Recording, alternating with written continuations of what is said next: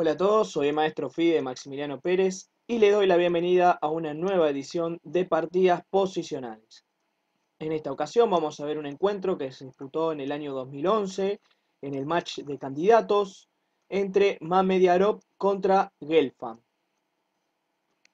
La partida comenzó con E4, C5, caballo F3, D6, D4, C por D4, caballo por D4, caballo F6, caballo C3, A6. Esta es la variante Siciliana Naidorf, una de las más utilizadas eh, en la actualidad. Alfil C4. Bueno, esto plantea el ataque Sosin o Fischer, eh, E6, alfil B3, B5. Bueno, aparte de B5 existen otras dos opciones principales como lo son caballo BD7 o caballo C6 o hasta alfil E7 también es una de las posibilidades. Eh, a, lo, cual transponemos a distintos tipos de posiciones, ¿no? Cada una tiene su, idea particular. Por ejemplo, caballo BD7, la idea es ir hacia C5 para presionar el peón D4. Por lo general esta presión impide que el blanco pueda jugar F4 y bueno, y atacar por ejemplo con F5. La otra que es caballo C6, su idea es presionar sobre el centro para, bueno, eh, en algún momento desarrollar tranquilo con alfil E7 en roque corto y generar un ataque sobre el flanco de dama, con B5, alfil B7, torre FC8, etc. Pero bueno, B5 es la continuación eh, más agresiva, se podría decir, porque tiene la idea ya inicialmente de contraatacar inmediatamente sobre el flanco de dama. En roque corto, bueno, acá existen otras líneas como alfil E3, por ejemplo, en vez de en roque corto, alfil E3, o hasta dama F3, que son bastante interesantes. En roque corto, alfil E7, Dama F3, Dama C7. Bueno, esta es una jugada buena por parte del negro. No directamente defender con alfil B7, porque si no estaríamos cayendo en el truco típico de esta variante que es el sacrificio de alfil por E6.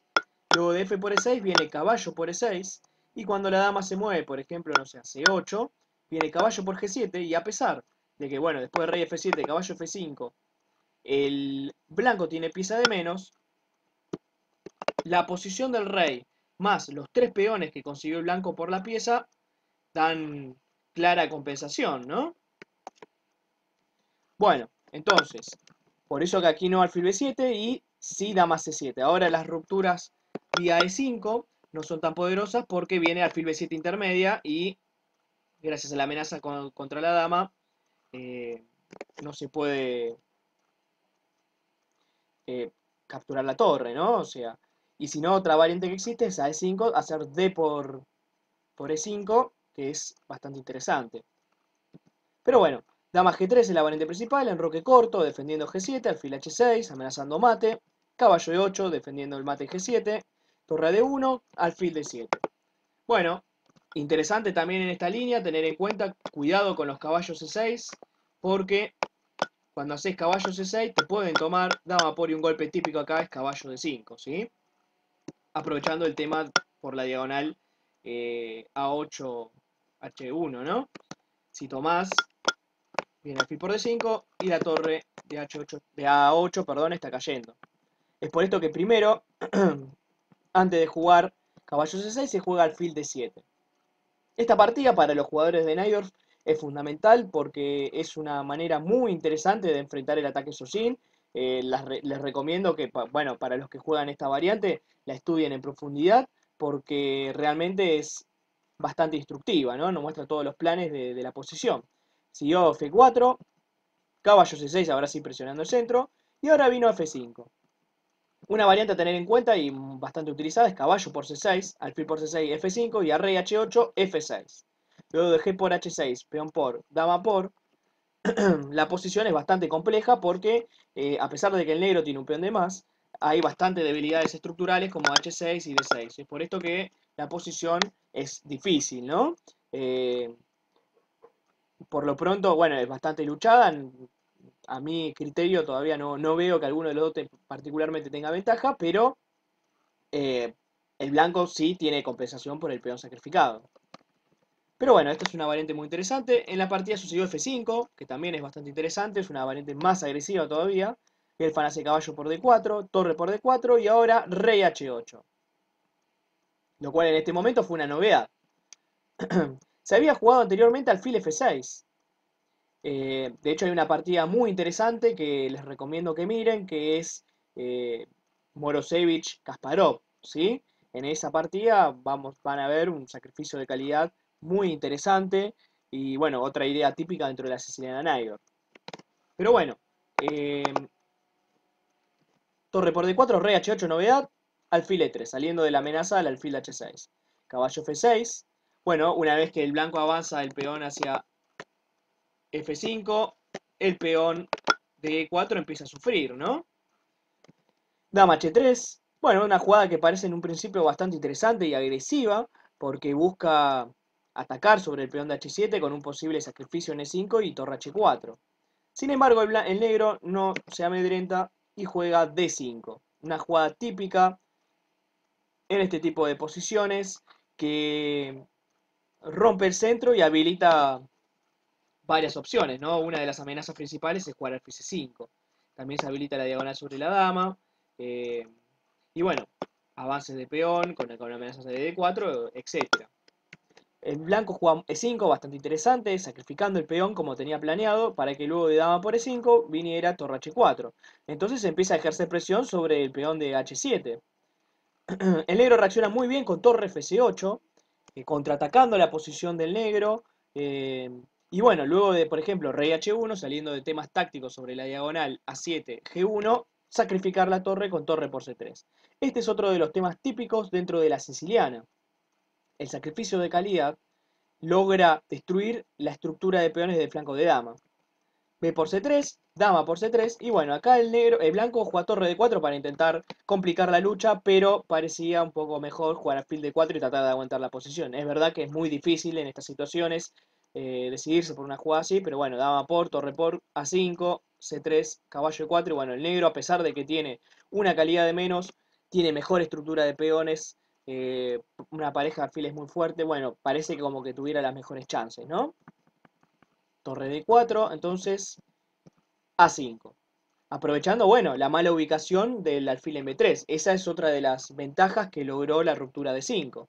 Torre de 3, dama C6, C3, A4. Alfil C2, E5. Bueno, como se puede observar, el negro, de, después de todo el revuelo táctico, ha logrado un fuerte centro y bueno, una fuerte posición también de peones en el flanco de dama. Alfil G5, B4. Observen cómo el negro en ningún momento deja de contraatacar, ¿no? Eh, B4, bueno, ya plantea algunas amenazas como B por C3, B, 3 en algún momento para dejar un peón pasado con A3. Vino dama H4, B por C3. El negro con muy buen cálculo decide que es hora de tomar ese peón para poder avanzar luego la mayoría central vino torre h3 y ahora rey g8. Con esta excelente jugada básicamente se sale de todas las amenazas del blanco. Por ejemplo, si alfil por f6, el negro simplemente toma alfil por f6 y dama por, a pesar de que parece que esto es peligroso, el negro está bastante seguro porque después rey f8, dama jaque, rey e7, vean como el, rey en el centro está totalmente protegido por los peones y la pareja de alfiles, mientras que eh, el blanco ha perdido toda posibilidad de ataque, ¿no? Entonces, bueno, se van a empezar a venir los, peones centrales. Es por esto que acá el blanco jugó torre 1, trayendo otra pieza al ataque. El negro jugó E4, avanzando la mayoría, G4 y en este momento el negro jugó rey F8, saliendo de todos los motivos tácticos que existen en la posición.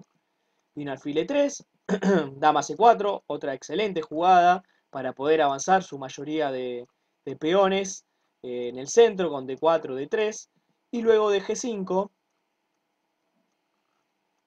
les dejo a ustedes que piensen qué harían en esta posición. ¿Qué creen que ha visto Gelfam para contrarrestar esta jugada?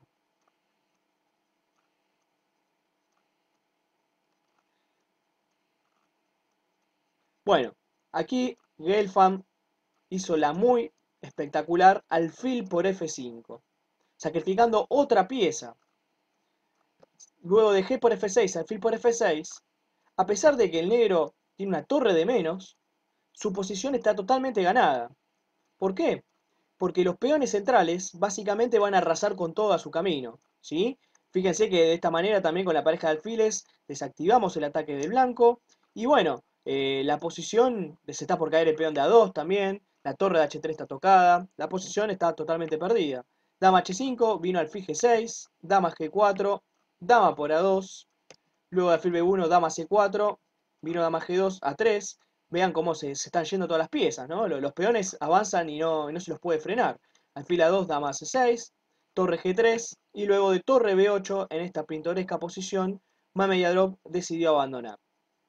Bueno, eh, una partida excelente por parte de Gelfand, muy bonita, que nos muestra justamente que a la hora de defender siempre la mejor manera es un buen contraataque. Eh, temas típicos dentro de la escena de Nyors, como he dicho, esta es una partida modelo para los jugadores de Nyors. Y bueno, sacrificio de calidad y bueno, posición final espectacular, ¿no? Los cinco peones a cambio de la torre resultan decisivos. Así que bueno, espero que les haya gustado la partida. Si quieren ver más partidas como estas, pueden suscribirse al canal de Chesniaks. También pueden agregarme a las redes sociales como Facebook o Twitter. Y para consultarme por clases particulares, pueden mandarme un mail a mi correo electrónico. Eh, bueno, toda esta información va a estar abajo en la descripción de este video. Desde ya, muchas gracias.